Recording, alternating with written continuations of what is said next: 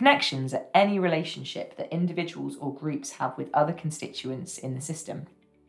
You can have any number of connections linked between constituents.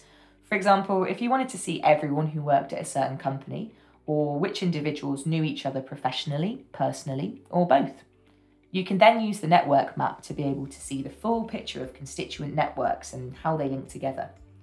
Knowing how your constituents are connected can aid your relationship management and help you think tactically about partnerships, trust applications, and fundraising campaigns.